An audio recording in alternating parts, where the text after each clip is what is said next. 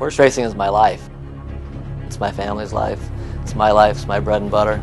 And that's how I'm raising my family. So it's, it's essentially everything in my world.